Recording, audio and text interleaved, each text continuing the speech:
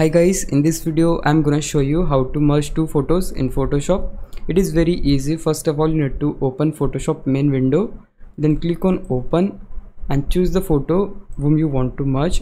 So this and this photo I want to merge so I'll just select them and just click on open. Now your photos will be open onto Photoshop and now we can just drag this first photo to the photo with we want to combine the photo. I'll just drag it here now you can just select the photo and hit ctrl plus t and just resize it however you like. Once you do that just click on this empty area.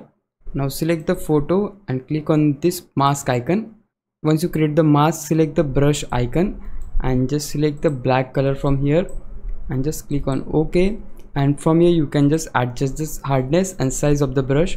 And it is recommended to use the bigger brush in order to merge these two photos and the hardness should be lower so that you can get the smoother effect.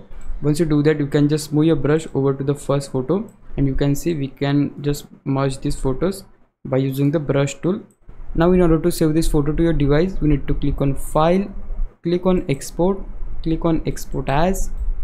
Now click on export and choose the folder where you want to save this. I want to save this on this folder. I'll just select that and click on save. And the photo will be saved on your device but yeah that's it. This is how you can merge two photos in photoshop. Now if you found this video helpful please leave a like consider subscribing my youtube channel. I'll meet you in the next one. Bye bye